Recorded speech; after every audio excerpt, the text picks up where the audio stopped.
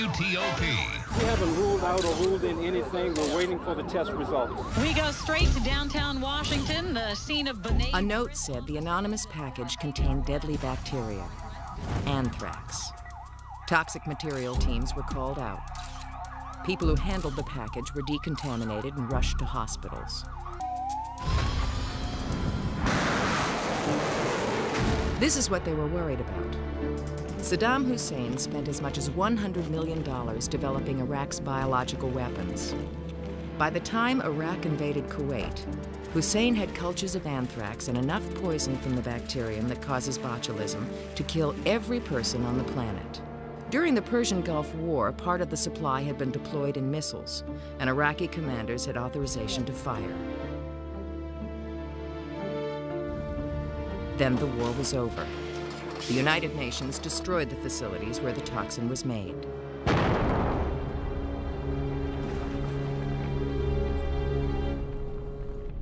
Even without the germs of war, people are spooked by the diseases caused by bacteria.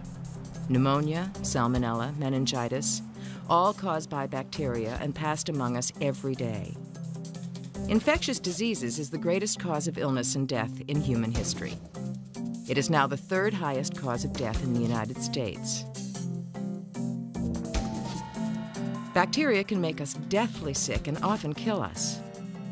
And just when we develop medicines to kill the germs, they do what they do best mutate to resist our medicines.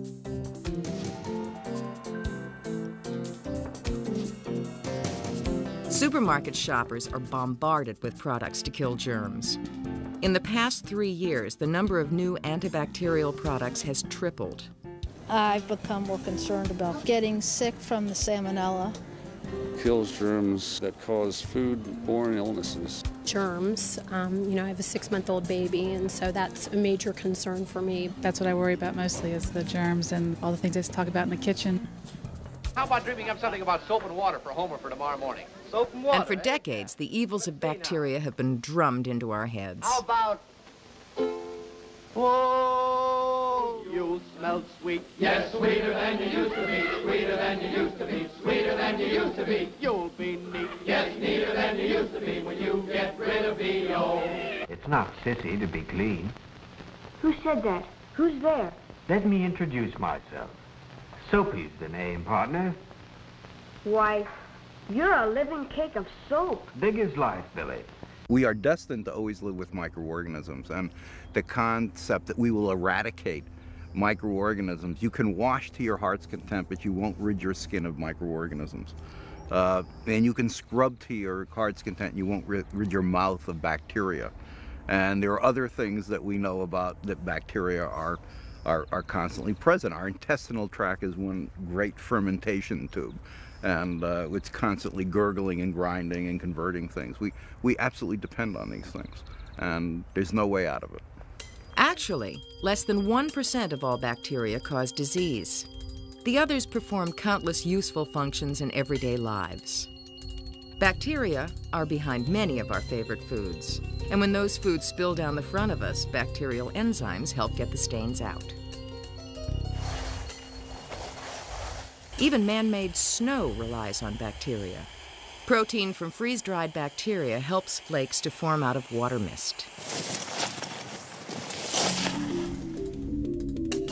Bacteria are the oldest life form on Earth. They survive, even thrive, in some of the harshest environments in the hot springs of Yellowstone, in pools of acid, in caves and crevices in the earth without light or air.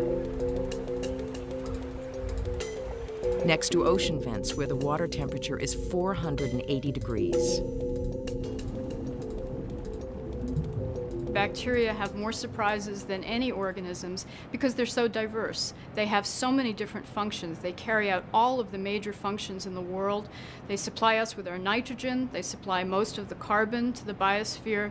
They cycle nutrients. They, they produce antibiotics. They keep us healthy. They make us sick. They basically control every major function in biology.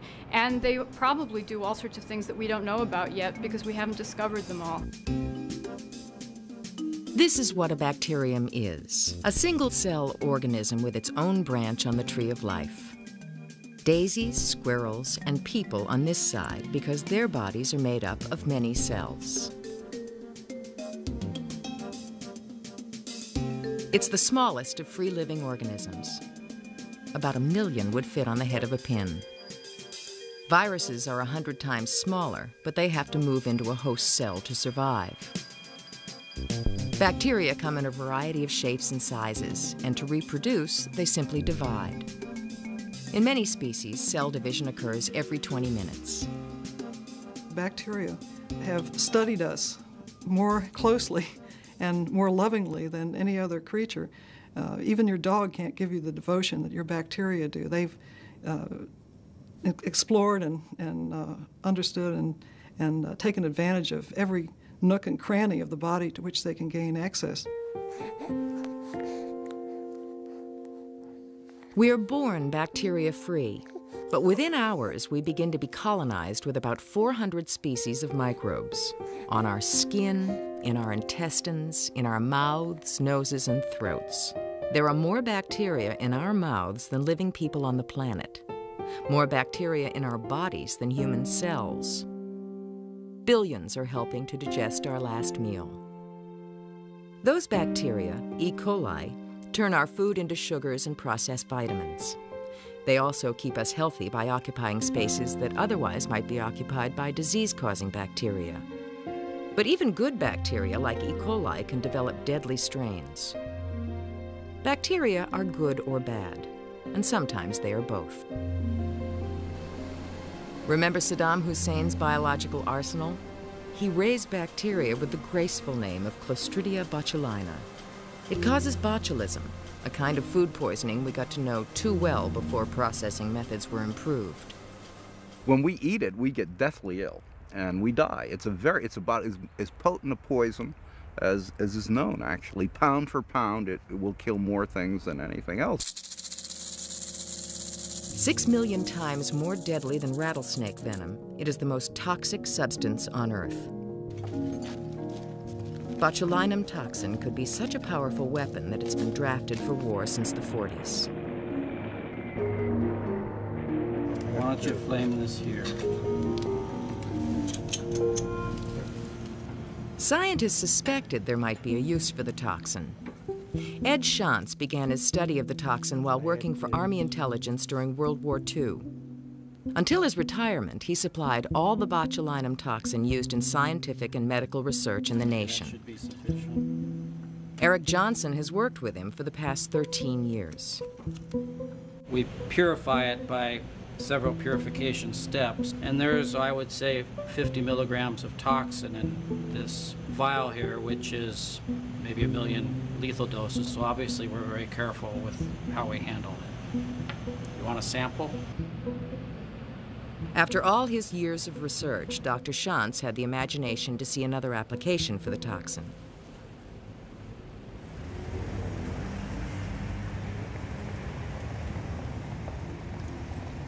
At first, it started with a small bit of pain at the base of the neck, and then eventually, as I'd be driving the car, all of a sudden my head would go to the left.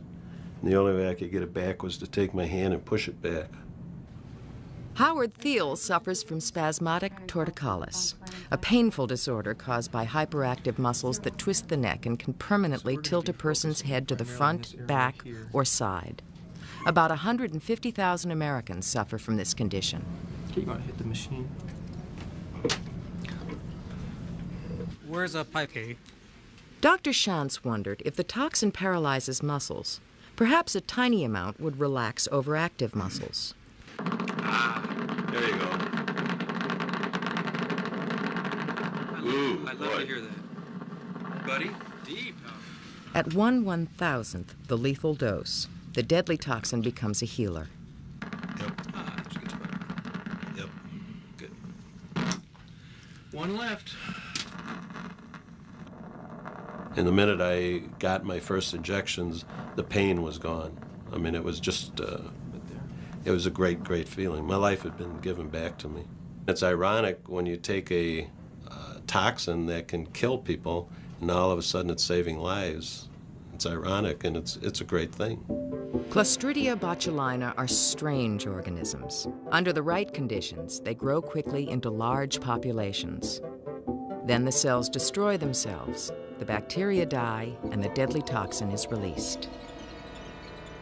To start a batch of toxin and complete it for medical use, it takes about three weeks. And in that time, we can prepare enough toxin to supply the medical profession for many, many years. And all of it in a tiny tube, as you see on the bench. There is promising research that botulinum toxin will help millions of people suffering from conditions associated with hyperactive muscles, such as Parkinson's disease, cerebral palsy, multiple sclerosis, and stuttering. In the meantime, botulinum toxin has become very popular among plastic surgeons like Rhoda Narins. She uses tiny doses of toxin to remove the traces of worry and squinting without a scalpel. It doesn't hurt much, but it isn't cheap. A single treatment costs over $500. Where you're recruiting from, frown for a minute. Okay, relax. Relax. Do it again. Not a lot. Relax.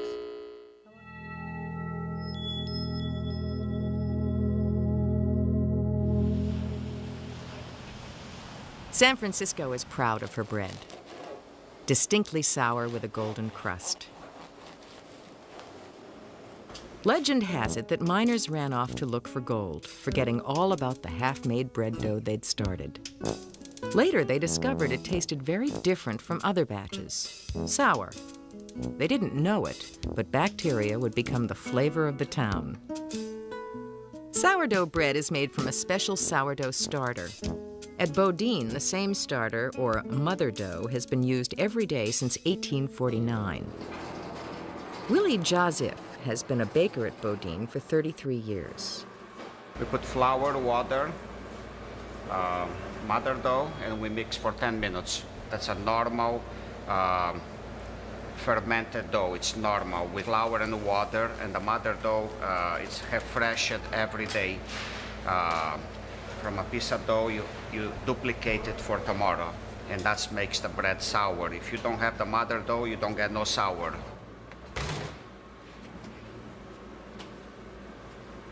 No one knew what exactly gave sourdough bread its flavor until 1970, when researchers from the United States Department of Agriculture uncovered the secret of the sour, a unique strain of lactobacilli bacteria.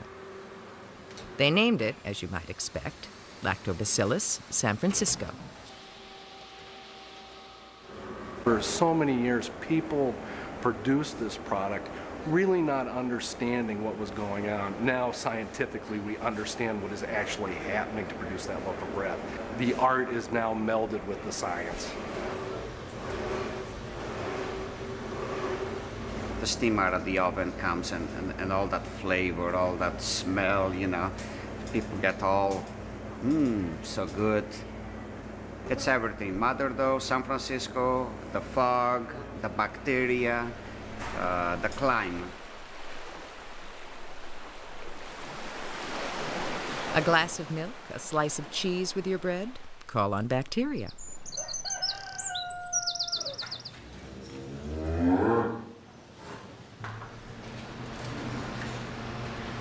If this is a machine for turning grass into milk, its gears are bacteria. Trillions of bacteria are at work in the first of four stomachs in a cow. As they do in us, bacteria convert feed into nutrients, which eventually become milk.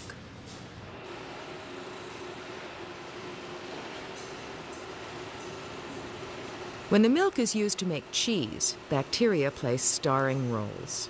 Specific bacteria provide the different flavors of cheese and put the holes in Swiss cheese.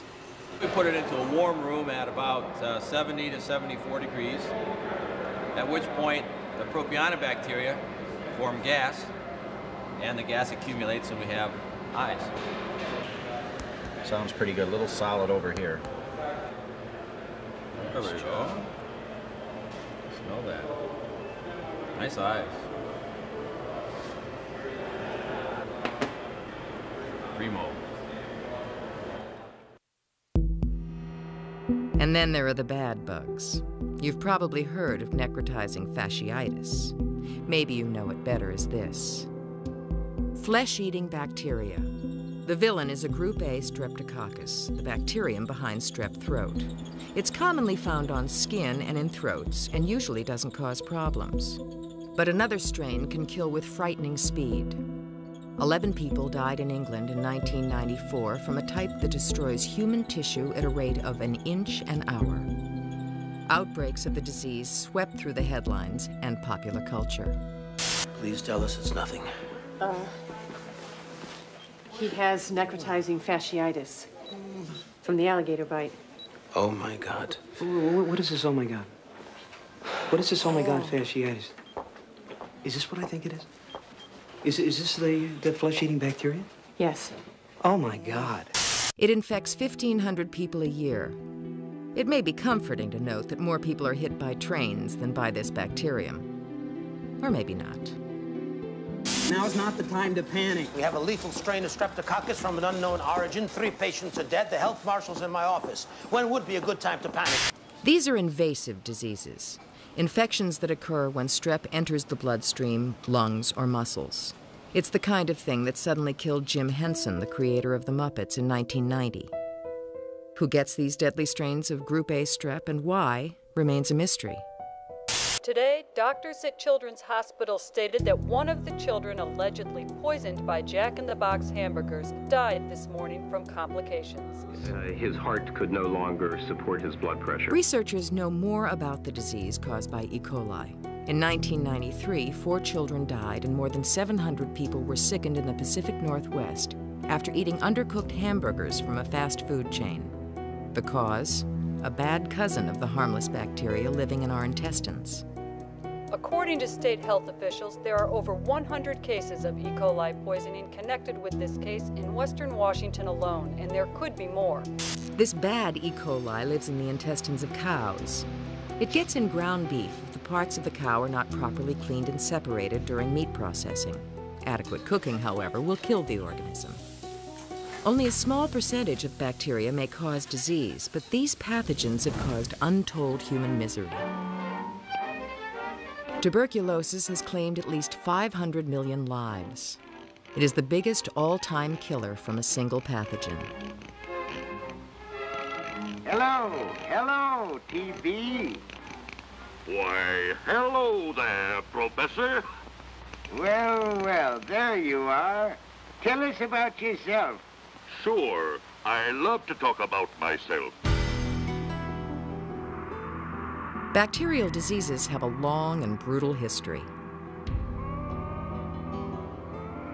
One of the most devastating was Black Death, or bubonic plague. The disease, transmitted by fleas, marched across Europe and Asia in the 14th century and killed a third of the population. The death rate from bubonic plague was 90%. With no medicines to fight the bacteria, doctors could do nothing to cure infectious disease.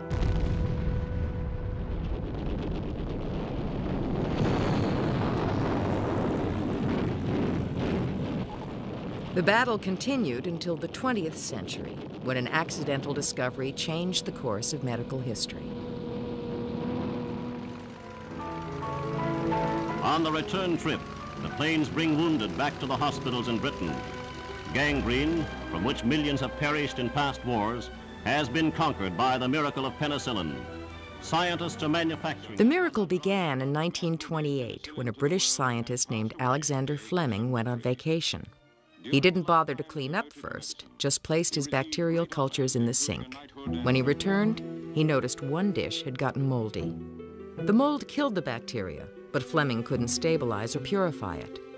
That took a four-man team from Oxford and 10 years. They named the drug after the mold. Penicillium led to penicillin. Thousands of men, thanks to penicillin and plasma, will come home to their thankful families. The whole world of peace to come will reap the benefits of this great wartime medical discovery. Science has Penicillin was the dawn of a new age in medicine. At last, doctors had the power to heal. It seemed man had infectious disease on the run. In the 40s, uh, when antibiotics really came into general use, there, were, there was such a, a kind of high that developed because we were taking things like, like streptococcal blood poisoning and pneumonias, gonorrhea, syphilis, and all of these things were being cured. It was really it was a miracle. Four-year-old Elijah was a sick little boy, and his mother Vivian was worried. He wouldn't eat, he wouldn't play, he wouldn't do anything. He just lay there. He said his foot was hurting him. I asked him, did he step on something or did he hurt his foot? And he said no. It was very unusual. And after his fever wouldn't go down, I knew it was serious. As an experienced mother of five, Vivian had never seen an illness like this. After two days of high fever, she brought Elijah to the hospital. And I didn't know what happened, and it wasn't any cuts or bruises, wasn't any uh, sign of something had happened to him. And uh, I was confused. I didn't know what it was. I had no idea.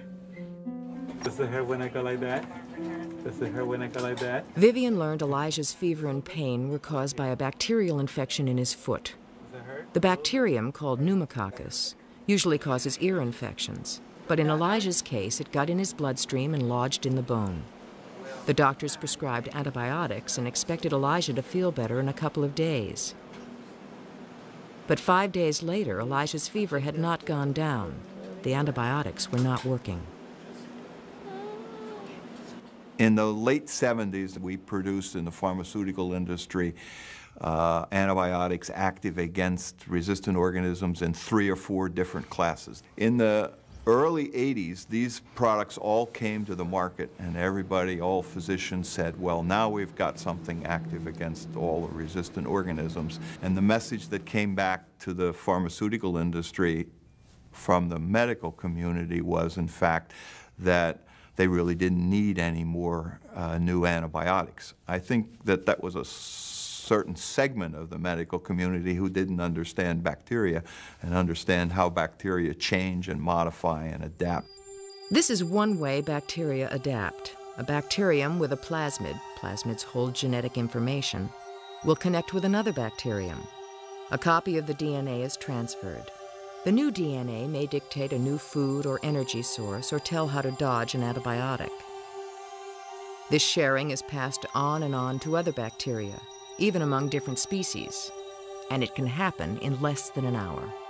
You could say that, well, if organisms really began to exchange information, then all bacteria would kind of be, be the same. They'd be in an amalgam. But they're not. Each one is kind of very individualistic uh, in terms of what they do and how they survive. And each one has a gimmick in order to survive so that it has its place, as it were, in the world. That's little comfort for Elijah and his mother as the doctors try to find out why he is not getting better. The heavy weapons of medicine are brought out to pinpoint his bone infection.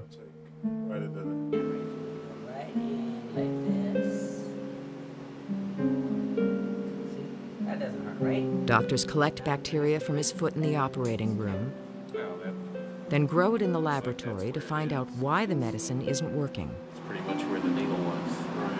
We'll see more when we get pinhole. That um, looks like we're on the right track. Pneumococcus is the leading bacterial cause of pneumonia, ear infections, and meningitis. Throughout the country, the number of resistant pneumococcus strains is rising, and the strains are resisting more classes of antibiotics. Antibiotic resistance means that the bacteria have developed a way to avoid the killing action of antibiotics, which simply means that if you have an infection and you're given one of these antibiotics, it probably won't work for you.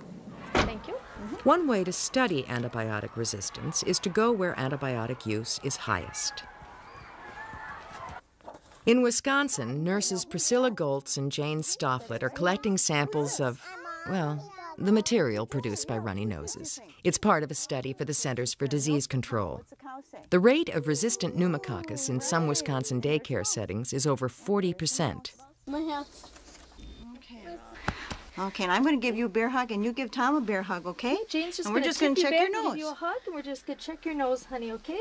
What I want you to do is just count to three, honey. Okay? One, two, three. That's I'm all, done. sweetheart. I'm That's done. all. Oh, good job, girl. good you did good, honey. Thank yeah, you. now you got to pick out a toy. Let's go pick out a toy. The nurses will return in a year and retest the children to monitor the trend. Oh yes. Daycare centers are often seen as one of the wonderful breeding grounds of new and novel resistant organisms. In many large daycare centers, there may be as many as 30 or 40 percent of children on an antibiotic at any given time. And so that uh, an organism uh, that is a good colonizer has a tremendous opportunity in a daycare center uh, to colonize lots of children uh, and eventually to cause disease, particularly uh, if it's resistant to one or two or three antibiotics.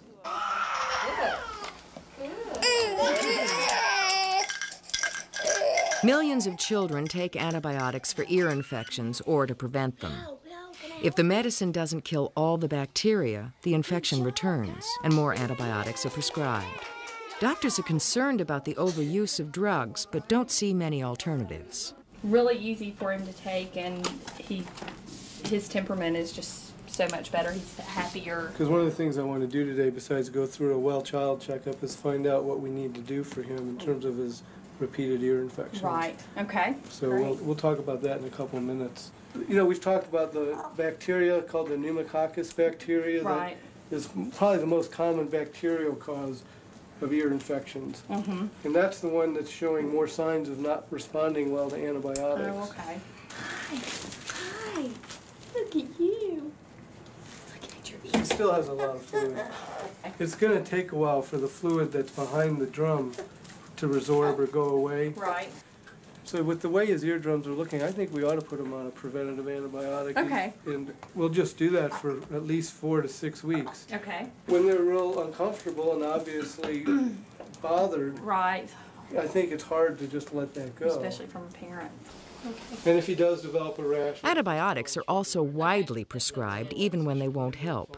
18 million prescriptions are written each year for colds, which are caused by viruses. Very good. The sheer tonnage of antibiotics that is used in the world every year, I think, contributes to the problem of resistant bacteria in the community, which then becomes a problem in the hospital, which then becomes a problem in extended care facilities, and they're all inextricably linked. During the 1950s, animals started getting antibiotics too.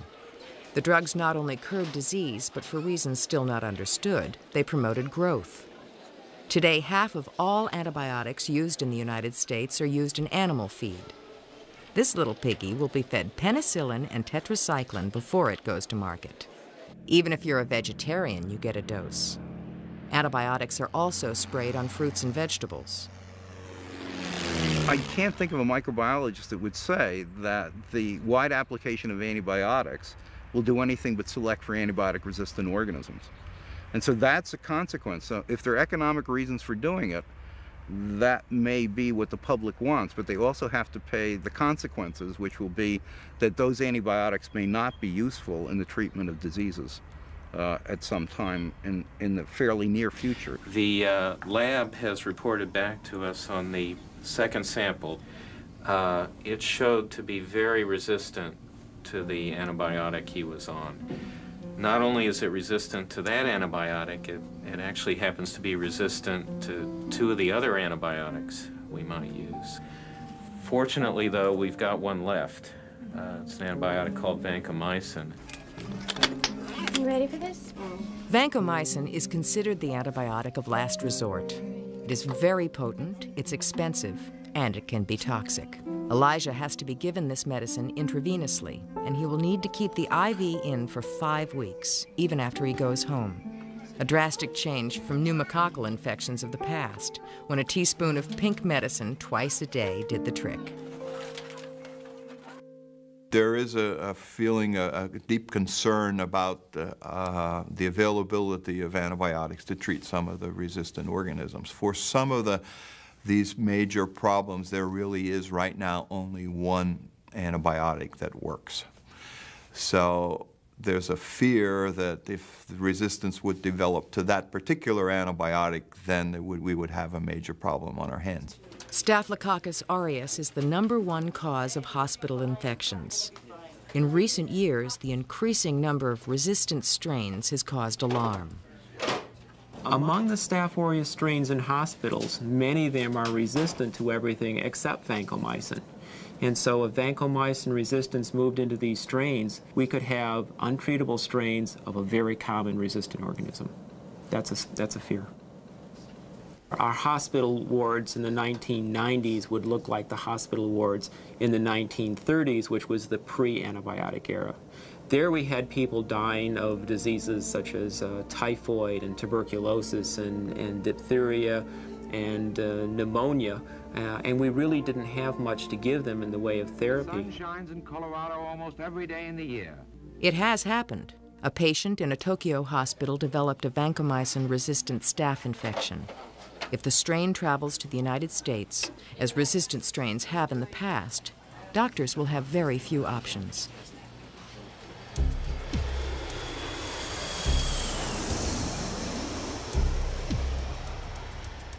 One of the factors that has led to a global increase in resistance among bacteria is the fact that we have very mobile populations of people.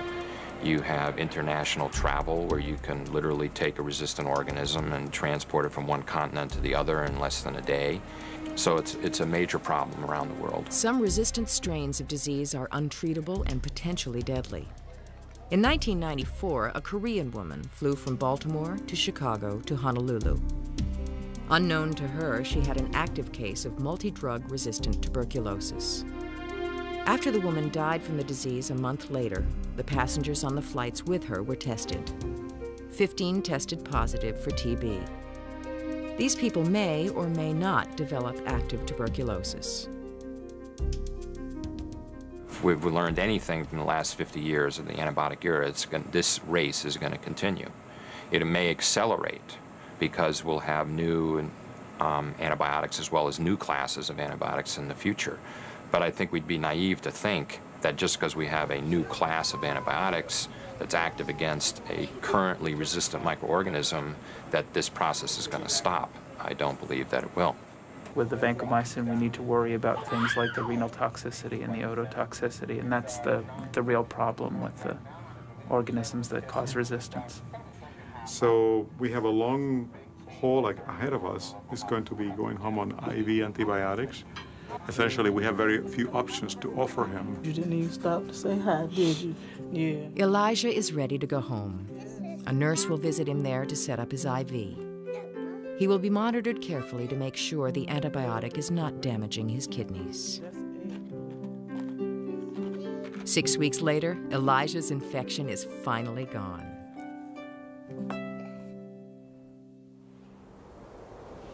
This part of South Dakota and the city of Lead is mining territory. People from all over the Black Hills have worked for the Homestake Mining Company, the longest continuously running gold mine in the world. It's a one company town. Without Homestake, there would be no Lead. A lot of the miners are like third and fourth generation. Uh, their grandparents worked in the mine, and then their parents. And so it's like a big family.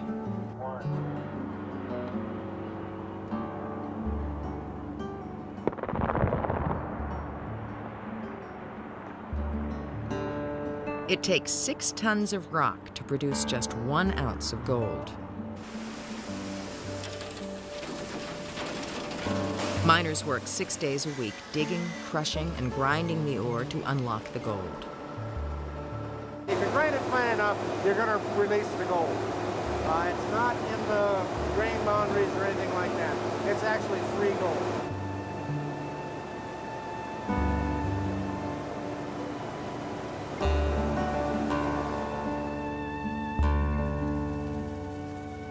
Look at this table here, it's nothing more than an automated gold pan. It's doing the same thing the old timers did in the stream, except it's much more efficient and it's doing a lot faster and a lot more material.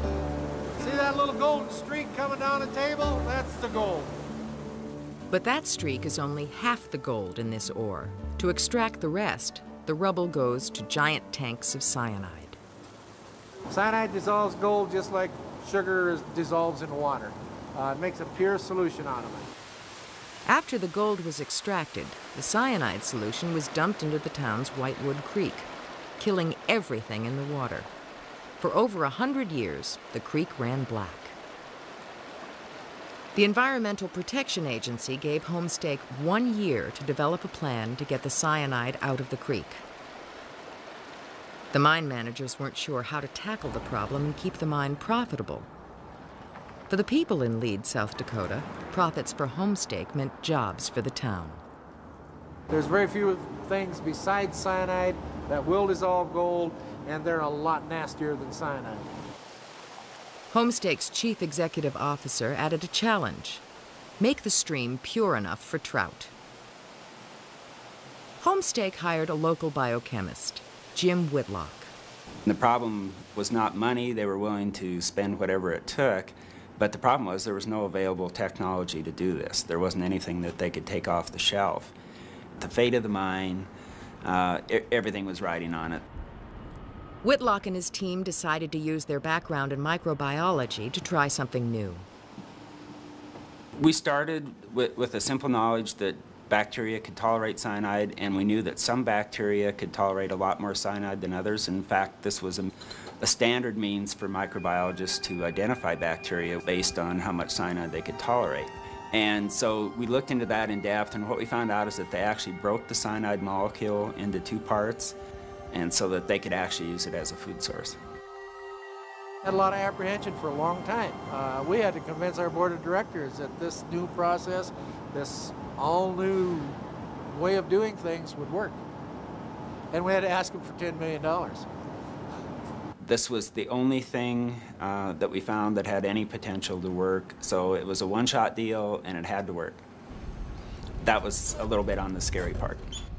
It worked. Today, all the water from the underground mine is filtered through these tanks, each containing about 20,000 pounds of Pseudomonas bacteria attached to plastic discs. Now, the bacteria like to attach to things, and they have a little tail that they use to propel themselves around in the water. They'll discard the tail and secrete a slime layer, which is how they attach to the plastic disc. So as the disc rotates very slowly, about one and a half revolutions per minute, uh, partially submerged in the water tank, the bacteria are attached to the disc. So they're in the water, and then they're back in the air, and then they're in the water. So when they're in the air, this helps satisfy their oxygen requirement. And when they're in the water, then uh, they're actually uh, picking up cyanide and absorbing metals.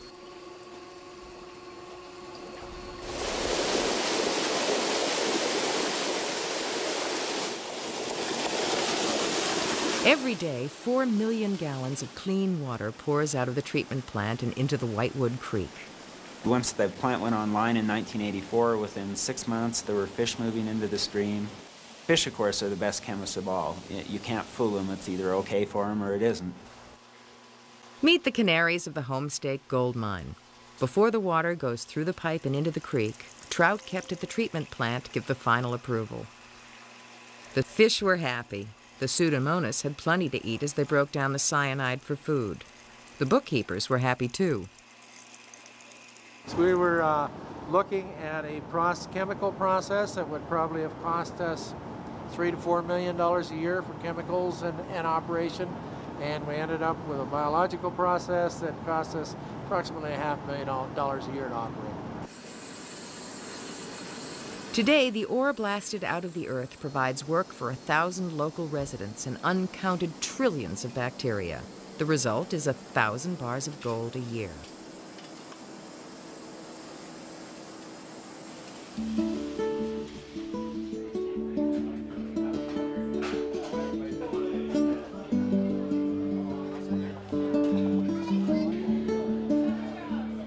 For me to come back home where I grew up and be part of a team that, that cleaned up an area and completely changed an area, um, it was very rewarding, particularly because it was at home. breath test today and see whether or not your antibiotics have worked. One in 10 adults has ulcer disease, and it's not stress related. Now we know the true cause. Helicobacter pylori, a spiral-shaped, slow-acting bacterium that thrives in the stomach. Simple tests will detect H. pylori and antibiotic treatment can begin.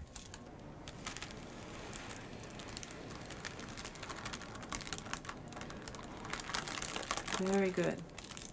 We have our first sample. I think it's an, incredible discovery. I mean, that we've, we've actually been able to come so far in, in where we are with ulcer disease because for so long it was thought that you needed to get rid of the acid. So the surgery was taking out the acid um, part of the stomach, making it so that the acid decreased, and also taking out that area where the ulcers uh, form primarily. But now we know that it's just a bacterial disease, and all you have to do is just take a seven day or 10 day course of antibiotics and it's over. It's great. Occasionally, the first course of antibiotics does not cure a patient.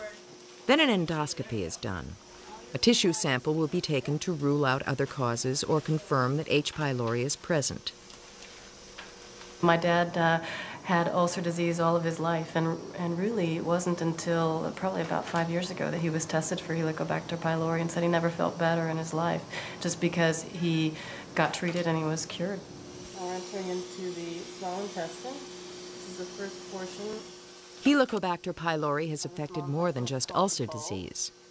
Now scientists are studying the link between bacteria and many chronic illnesses like asthma, periodontal disease, hardening of the arteries, Crohn's disease, colitis, rheumatoid arthritis, and even some cancers.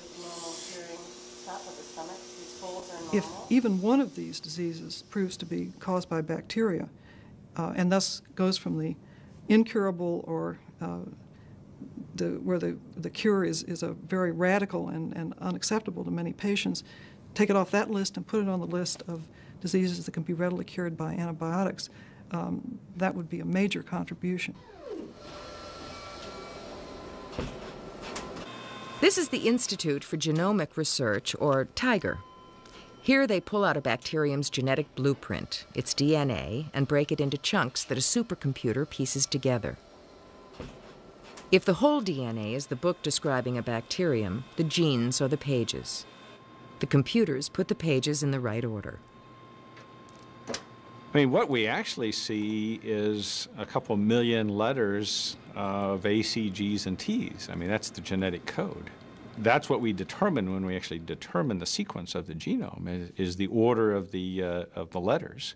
The real task is in interpreting what that means. You know, what, what words, what sentences, what messages are there. And we're finding some phenomenal uh, messages hidden in there. The things that are pre-programmed into these genomes is, uh, I mean, it, it, it's absolutely amazing.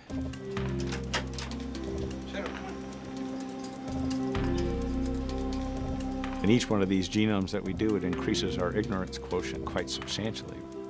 Once the genetic blueprints of microorganisms are completed, the functions of the genes are studied. As researchers understand which genes are responsible for growth or disease, they can be manipulated for many purposes. And it's given us insight into a much larger question.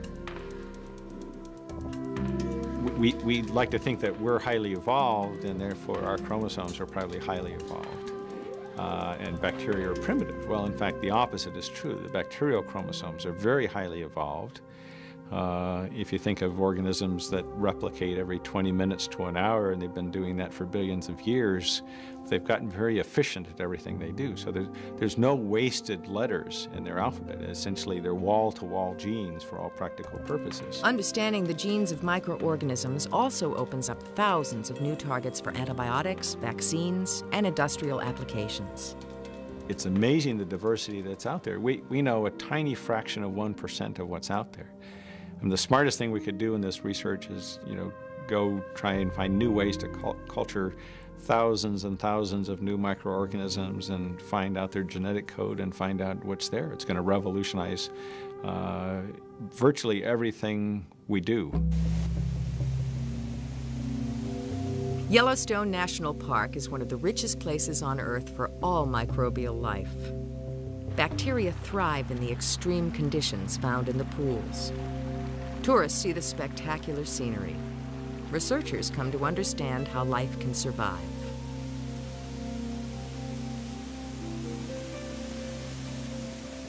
many of the organisms that live in, this in these pools uh, have to eat. So those are called heterotrophs, so they have to consume things in their environment. And in order for a microbe to consume something in its environment, it has to make an enzyme that can break that particular item down.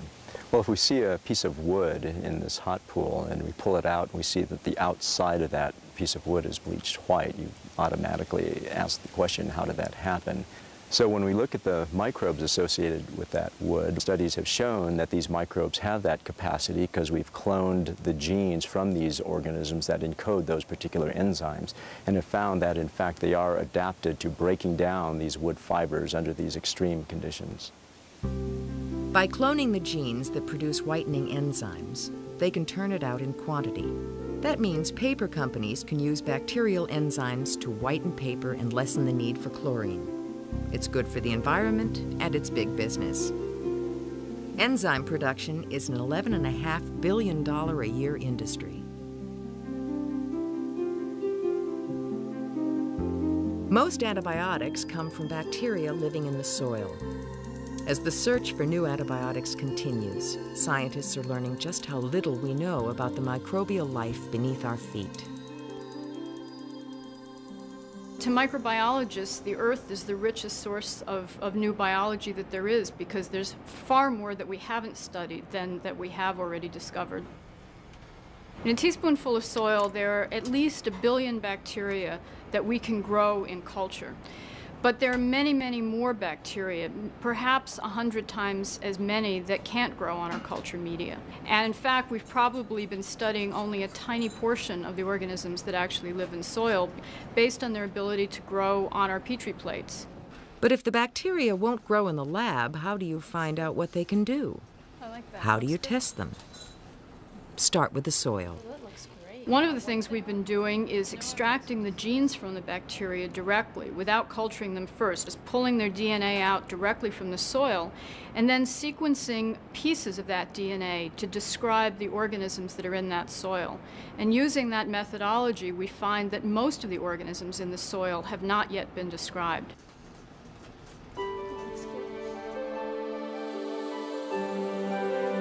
The search for new microbial life has taken researchers from backyard soil to the ocean floor to the heavens.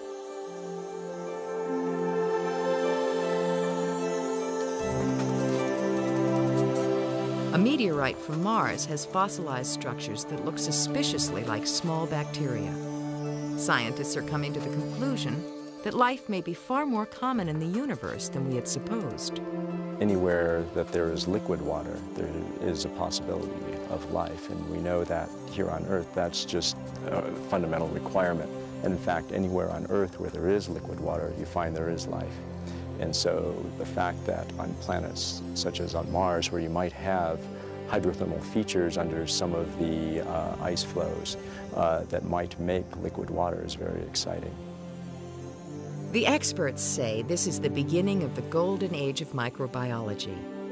Industry, medicine, the definition of life itself are all being changed by single-celled creatures you and I can't even see.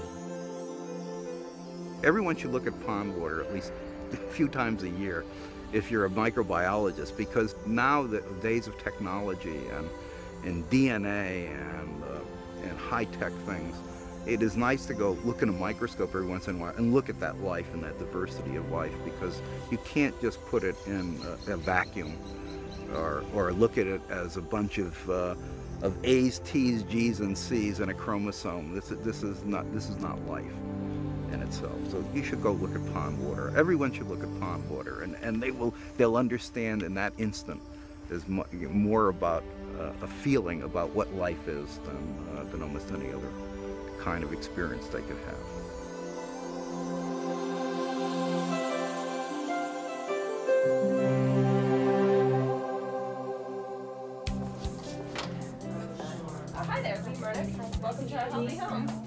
To.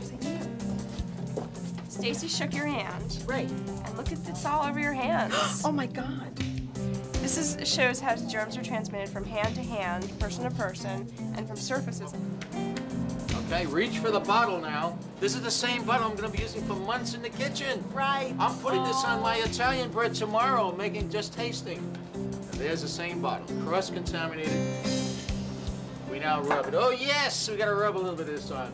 And I reach up. You want a little salt on there? Because you want to oh, touch my salt. I thought cross-contamination was a good thing. Then I remembered it was cross-pollination. Cross-pollination is what you're talking about, friend. Where's my whistle? Hello. That was good. This is bad. I could have made that line up better, friend. Would you stick around the rest of the afternoon like I happen to be?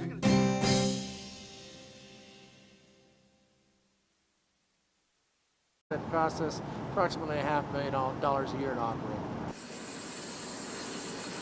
Today, the ore blasted out of the earth provides work for a thousand local residents and uncounted trillions of bacteria. The result is a thousand bars of gold a year.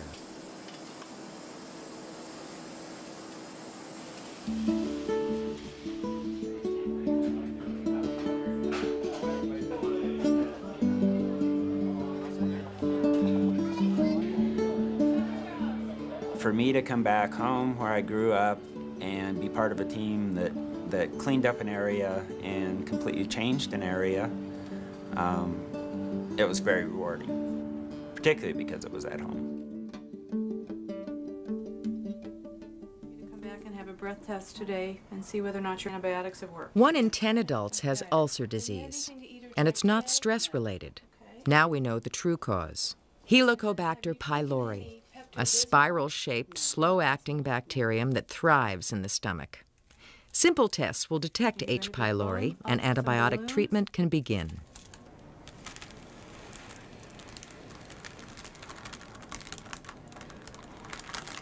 Very good. We have our first sample.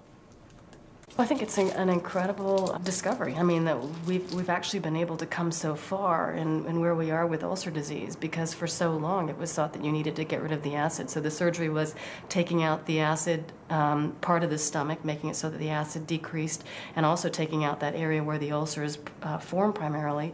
But now we know that it's just a bacterial disease, and all you have to do is just take a seven day or 10 day course of antibiotics and it's over. It's great. Occasionally, the first course of antibiotics does not cure a patient. Then an endoscopy is done. A tissue sample will be taken to rule out other causes or confirm that H. pylori is present. My dad uh, had ulcer disease all of his life, and, and really it wasn't until probably about five years ago that he was tested for Helicobacter pylori and said he never felt better in his life just because he got treated and he was cured. We're entering into the small intestine the first portion. Helicobacter pylori has affected more than just ulcer disease. Now scientists are studying the link between bacteria and many chronic illnesses like asthma, periodontal disease, hardening of the arteries, Crohn's disease, colitis, rheumatoid arthritis, and even some cancers. If even one of these diseases proves to be caused by bacteria, uh, and thus goes from the incurable or uh, the, where the, the cure is, is a very radical and, and unacceptable to many patients, take it off that list and put it on the list of diseases that can be readily cured by antibiotics. Um, Throughout the country, the number of resistant pneumococcus strains is rising, and the strains are resisting more classes of antibiotics. Antibiotic resistance means that the bacteria have developed a way to avoid the killing action of antibiotics, which simply means that if you have an infection and you're given one of these antibiotics, it probably won't work for you. Thank you. Mm -hmm. One way to study antibiotic resistance is to go where antibiotic use is highest. In Wisconsin, nurses Priscilla Goltz and Jane Stofflet are collecting samples of, well, the material produced by runny noses. It's part of a study for the Centers for Disease Control. The rate of resistant pneumococcus in some Wisconsin daycare settings is over 40 percent. Okay, and I'm going to give you a bear hug, and you give Tom a bear hug, okay? Jane's just we're gonna just going to check your nose. Give you a hug, and we're just going to check your nose, honey, okay? What I want you is just count to three, honey, okay? One, two, three. That's I'm all, done. sweetheart. I'm That's done. all. Oh, Good job. girl. Good You job. did good, honey. Thank yeah, you. now you got to pick out a toy. Let's go pick out a toy. The nurses will return in a year and retest the children to monitor the trend. Oh, yes. Daycare centers are often seen as one of the wonderful breeding grounds of new and novel resistant organisms. In many large daycare centers, there may be as many as 30 or 40 percent of children on an antibiotic at any given time. And so that uh, an organism uh, that is a good colonizer has a tremendous opportunity in a daycare center uh, to colonize lots of children uh, and eventually to cause disease, particularly uh, if it's resistant to one or two or three antibiotics.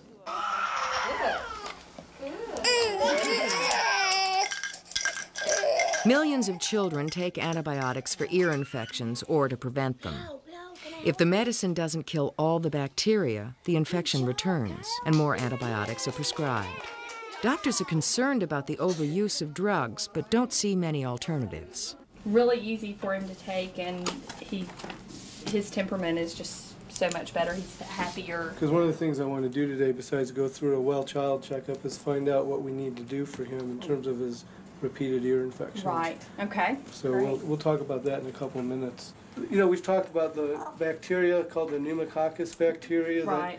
That is probably the most common bacterial cause of ear infections. Mhm. And that's the one that's showing more signs of not responding well to antibiotics. Oh, okay. Hi. Hi.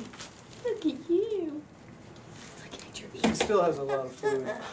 It's going to take a while for the fluid that's behind the drum to resorb or go away. Right. So with the way his eardrums are looking, I think we ought to put him on a preventative antibiotic. Okay. In- Stop. I don't believe that it will. With the vancomycin, we need to worry about things like the renal toxicity and the ototoxicity, and that's the, the real problem with the organisms that cause resistance. So we have a long haul like ahead of us. It's going to be going home on IV antibiotics. Essentially, we have very few options to offer him. You didn't even stop to say hi, did you? Yeah. Elijah is ready to go home. A nurse will visit him there to set up his IV. He will be monitored carefully to make sure the antibiotic is not damaging his kidneys. Six weeks later, Elijah's infection is finally gone.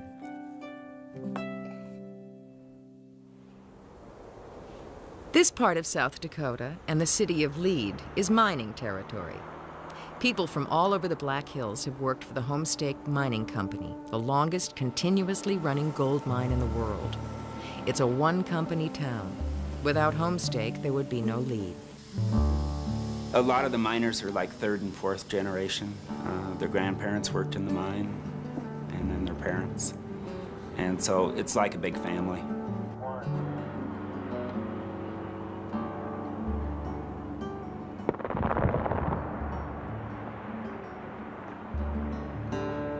It takes six tons of rock to produce just one ounce of gold. Miners work six days a week, digging, crushing, and grinding the ore to unlock the gold. If you grind it fine enough, you're going to release the gold. Uh, it's not in the grain boundaries or anything like that. It's actually free gold.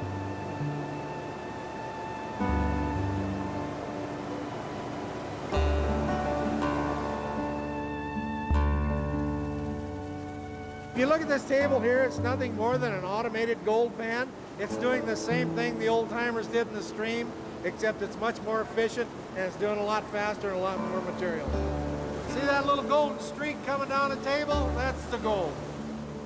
But that streak is only half the gold in this ore. To extract the rest, the rubble goes to giant tanks of cyanide. Cyanide dissolves gold just like sugar dissolves in water. Uh, it makes a pure solution out of it. After the gold was extracted, the cyanide solution was dumped into the town's Whitewood Creek, killing everything in the water. For over a hundred years, the creek ran black. The Environmental Protection Agency gave Homestake one year to develop a plan to get the cyanide out of the creek. The mine managers weren't sure how to tackle the problem and keep the mine profitable. For the people in Lead, South Dakota, profits for Homestake the laboratory to find out why the medicine isn't working. It's pretty much where the needle was. Right. We'll see more when we get the pinhole views. That looks like we're on the right track. Pneumococcus is the leading bacterial cause of pneumonia, ear infections, and meningitis.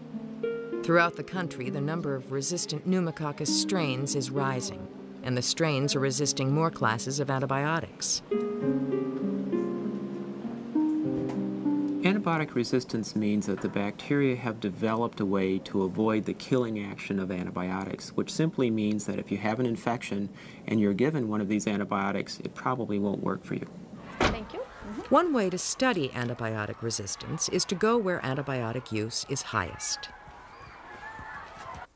In Wisconsin, nurses Priscilla Goltz and Jane Stofflet are collecting samples of, well, the material produced by runny noses. It's part of a study for the Centers for Disease Control. The rate of resistant pneumococcus in some Wisconsin daycare settings is over 40 percent. Okay, and I'm going to give you a bear hug, and you give Tom a bear hug, okay? Jane's just and we're gonna just going to check your nose. Give you a hug, and we're just gonna check your nose, honey. Okay? What I want you is just count to three, honey. Okay? One, two, three. That's I'm all, done. sweetheart. I'm That's done. all. Oh, good job, girl. good you did good, honey. Thank yeah, you. now you got to pick out a toy. Let's go pick out a toy. The nurses will return in a year and retest the children to monitor the trend. Oh yes. Daycare centers are often seen as one of the wonderful breeding grounds of new and novel resistant organisms. In many large daycare centers, there may be as many as 30 or 40 percent of children on an antibiotic at any given time. And so that uh, an organism uh, that is a good colonizer has a tremendous opportunity in a daycare center uh, to colonize lots of children uh, and eventually to cause disease, particularly uh, if it's resistant to one or two or three antibiotics.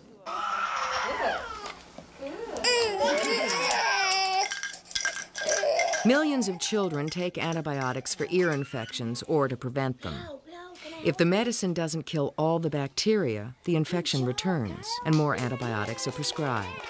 Doctors are concerned about the overuse of drugs but don't see many alternatives. Really easy for him to take, and he his temperament is just so much better. He's happier. Because one of the things I want to do today, besides go through a well child checkup, is find out what we need to do for him in terms of his repeated ear infections. Right. Okay. So Great. we'll, we'll talk about that in a couple of minutes.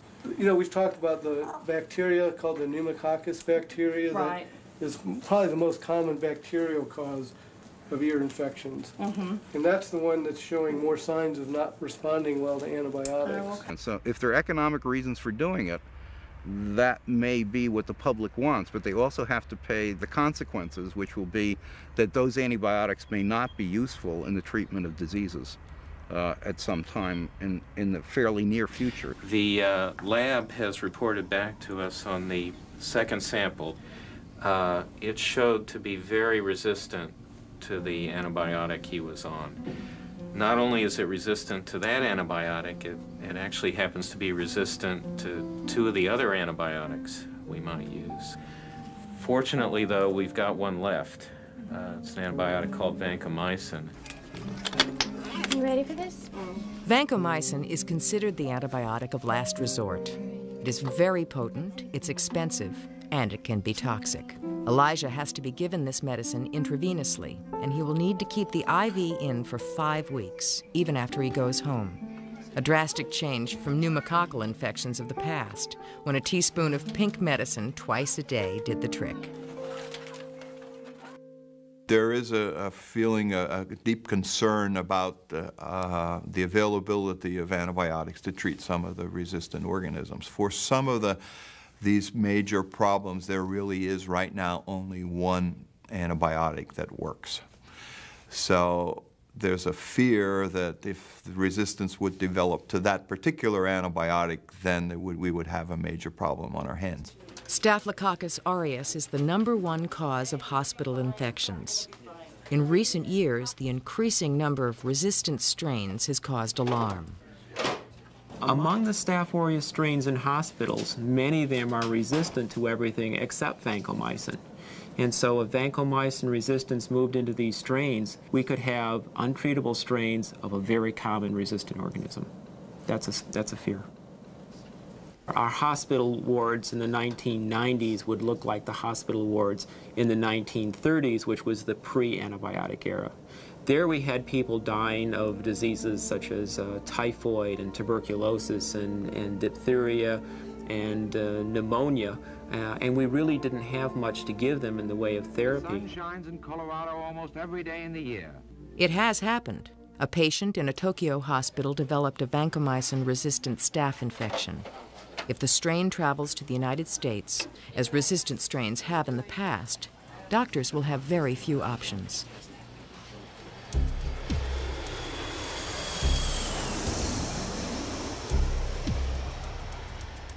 One of the factors that has led to a global increase in resistance among bacteria is the fact that we have very mobile populations of people. You have international travel where you can literally take for many, many years. And all of it in a tiny tube, as you see on the bench.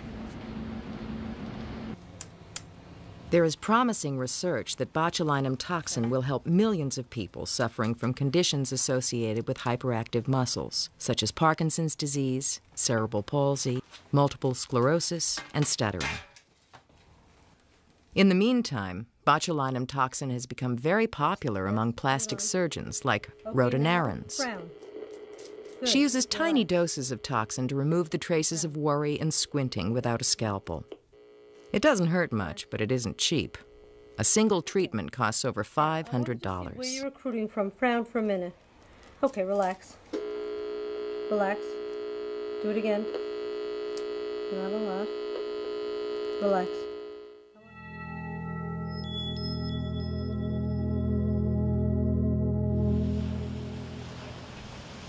San Francisco is proud of her bread. Distinctly sour with a golden crust. Legend has it that miners ran off to look for gold, forgetting all about the half-made bread dough they'd started. Later, they discovered it tasted very different from other batches, sour. They didn't know it, but bacteria would become the flavor of the town. Sourdough bread is made from a special sourdough starter. At Boudin, the same starter, or mother dough, has been used every day since 1849. Willie Jazif has been a baker at Boudin for 33 years. We put flour, water, uh, mother dough, and we mix for 10 minutes. That's a normal uh, fermented dough. It's normal with flour and water, and the mother dough uh, it's refreshed every day. Uh, from a piece of dough, you, you duplicate it for tomorrow, and that makes the bread sour. If you don't have the mother dough, you don't get no sour.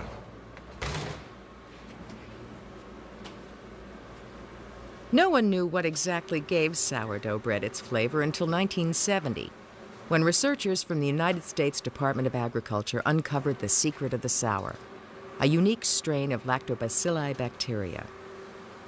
They named it, as you might expect, Lactobacillus San Francisco.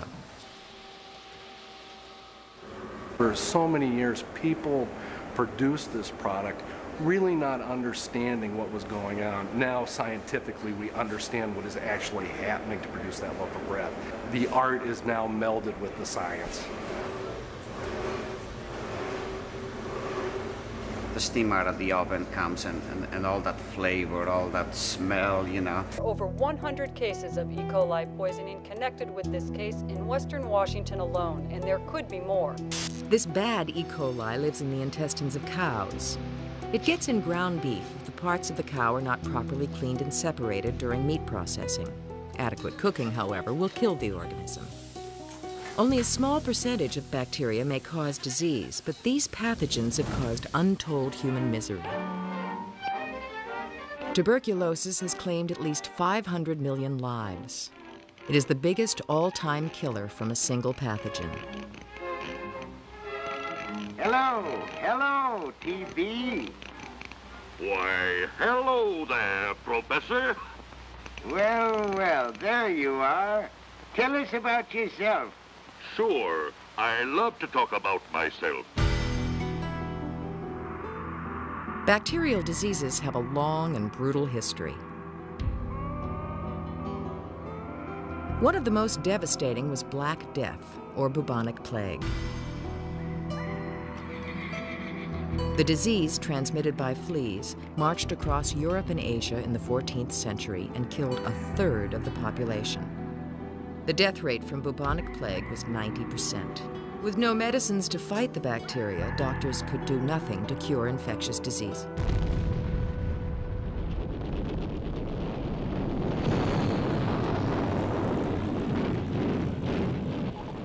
The battle continued until the 20th century, when an accidental discovery changed the course of medical history.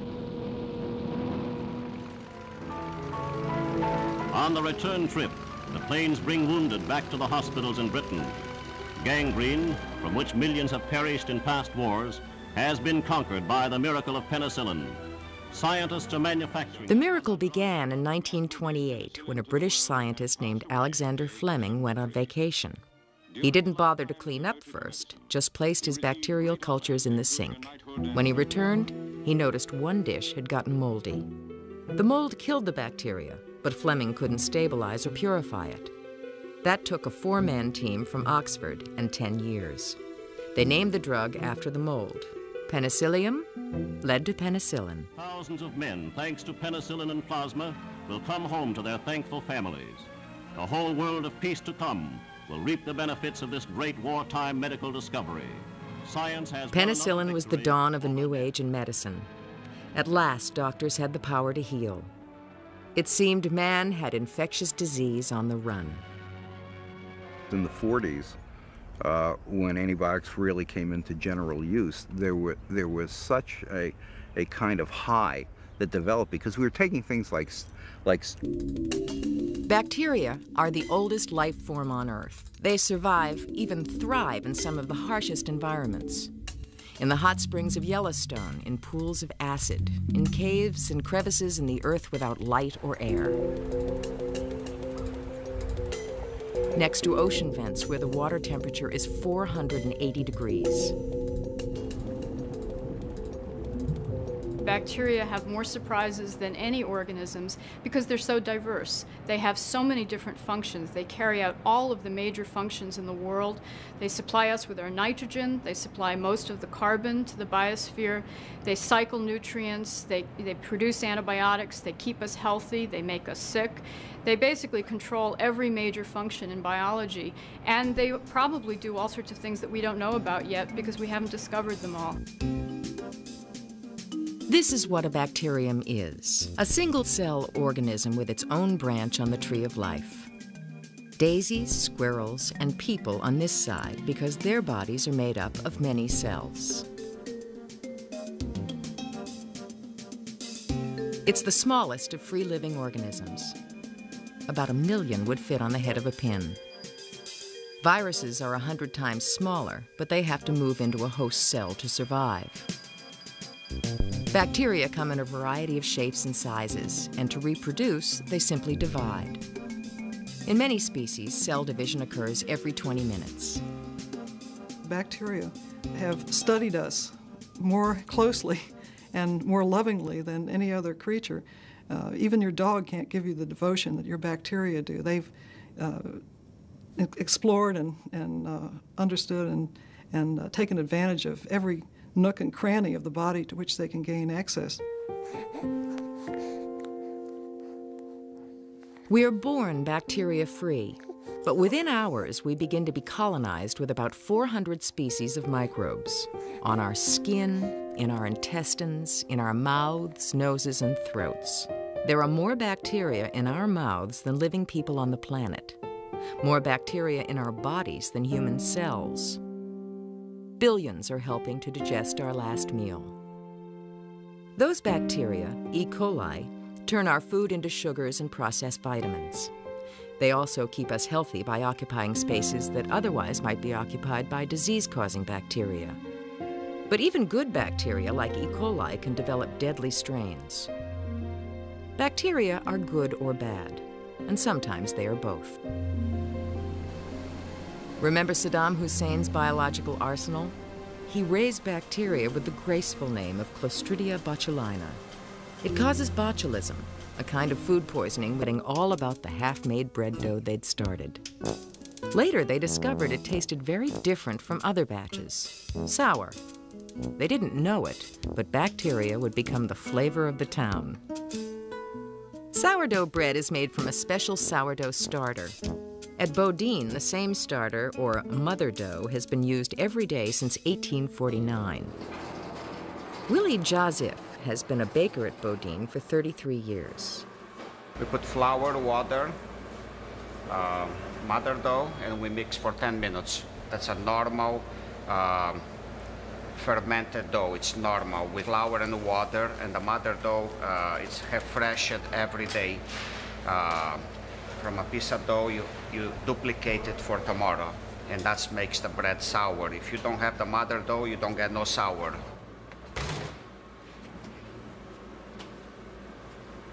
No one knew what exactly gave sourdough bread its flavor until 1970, when researchers from the United States Department of Agriculture uncovered the secret of the sour, a unique strain of lactobacilli bacteria.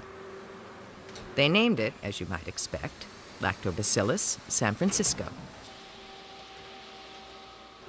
For so many years, people produced this product really not understanding what was going on. Now, scientifically, we understand what is actually happening to produce that loaf of bread. The art is now melded with the science. The steam out of the oven comes and, and, and all that flavor, all that smell, you know. People get all, mmm, so good. It's everything. Mother dough, San Francisco, the fog, the bacteria, uh, the climb. A glass of milk, a slice of cheese with your bread? Call on bacteria.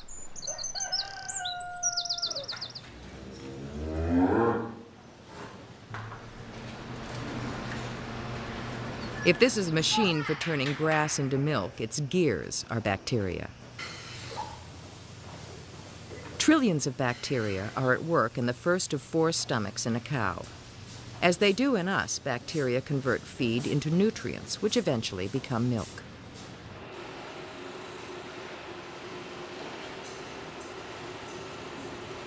When the milk is used to make cheese, bacteria play starring roles. Specific bacteria provide the different flavors of cheese and put the holes in Swiss cheese. We put it into a warm room at about uh, 70 to 74 degrees, at which point the propionibacteria form gas, and the gas accumulates and we have eyes. Sounds pretty good. Little Killed the bacteria, but Fleming couldn't stabilize or purify it. That took a four-man team from Oxford and 10 years. They named the drug after the mold. Penicillium led to penicillin. Thousands of men, thanks to penicillin and plasma, will come home to their thankful families. The whole world of peace to come will reap the benefits of this great wartime medical discovery. Science has Penicillin was the dawn of a new age in medicine. At last, doctors had the power to heal. It seemed man had infectious disease on the run. In the 40s, uh, when antibiotics really came into general use, there, were, there was such a, a kind of high that developed because we were taking things like, like streptococcal blood poisoning and pneumonias, gonorrhea, syphilis, and all of these things were being cured. It was really it was a miracle. Four-year-old Elijah was a sick little boy, and his mother Vivian was worried. He wouldn't eat, he wouldn't play, he wouldn't do anything. He just lay there. He said his foot was hurting him. I asked him, did he step on something or did he hurt his foot? And he said no. It was very unusual. And after his fever wouldn't go down, I knew it was serious. As an experienced mother of five, Vivian had never seen an illness like this. After two days of high fever, she brought Elijah to the hospital. And I didn't know what happened, and it wasn't any cuts or bruises, wasn't any uh, sign of something had happened to him. And uh, I was confused. I didn't know what it was. I had no idea. Does the hair when I go like that? Does the hair when I go like that? Vivian learned Elijah's fever and pain were caused by a bacterial infection in his foot. The bacterium, called pneumococcus, usually causes ear infections, but in Elijah's case, it got in his bloodstream and lodged in the bone. The doctors prescribed antibiotics and expected Elijah to feel better in a couple of days. But five days later, Elijah's fever had not gone down. The antibiotics were not working. In the late 70s, we produced in the pharmaceutical industry uh, antibiotics active against resistant organisms in three or four different classes. In the early 80s, these products all came to the market, and everybody, all physicians said, well, now we've got something active against all the resistant organisms. And the message that came back to the pharmaceutical industry from the medical community was, in fact, that they really didn't need any more uh, new antibiotics. I think that that was a certain segment of the medical community who didn't understand bacteria and understand how bacteria change and modify and adapt. This is world human misery. Tuberculosis has claimed at least 500 million lives. It is the biggest all-time killer from a single pathogen. Hello, hello, TB. Why, hello there, Professor. Well, well, there you are. Tell us about yourself. Sure, I love to talk about myself. Bacterial diseases have a long and brutal history. One of the most devastating was Black Death, or bubonic plague. The disease, transmitted by fleas, marched across Europe and Asia in the 14th century and killed a third of the population. The death rate from bubonic plague was 90%. With no medicines to fight the bacteria, doctors could do nothing to cure infectious disease.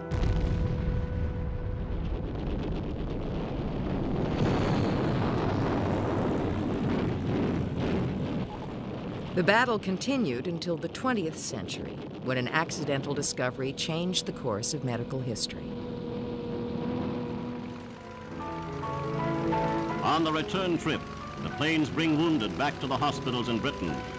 Gangrene, from which millions have perished in past wars, has been conquered by the miracle of penicillin. Scientists are manufacturing... The miracle began in 1928 when a British scientist named Alexander Fleming went on vacation. He didn't bother to clean up first, just placed his bacterial cultures in the sink. When he returned, he noticed one dish had gotten moldy. The mold killed the bacteria, but Fleming couldn't stabilize or purify it. That took a four-man team from Oxford and 10 years. They named the drug after the mold.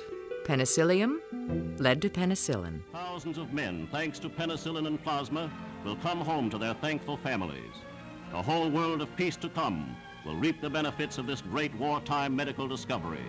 Science has Penicillin was the dawn of a new age in medicine. At last, doctors had the power to heal. It seemed man had infectious disease on the run.